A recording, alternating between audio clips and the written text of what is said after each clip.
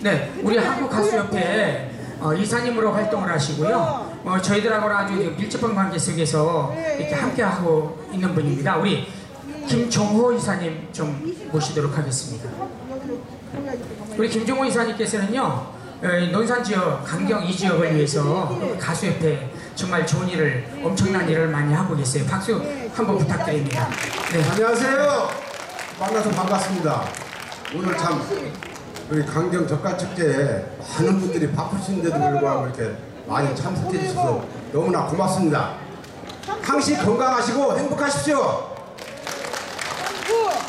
네, 우리 이사님 그냥 보신 게 아니고요. 노래 한 번 듣고 싶어서요. 운명처럼이라는 노래 우리 청해 듣겠습니다. 박수 부탁드립니다. 불러드리겠습니다.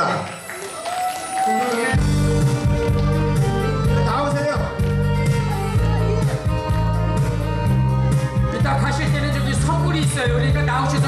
춤추시면 선물 드려요. 가실 때 선물 나눠드리도록 하겠습니다.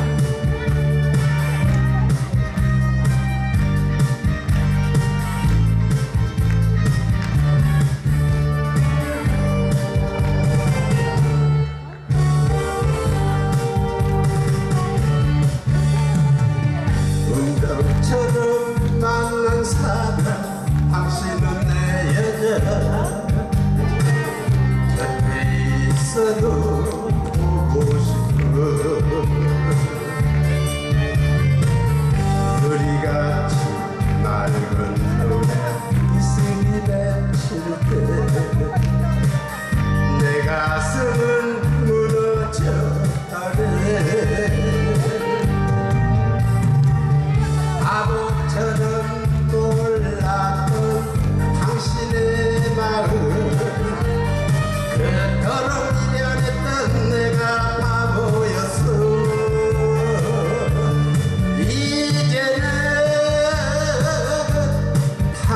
신만을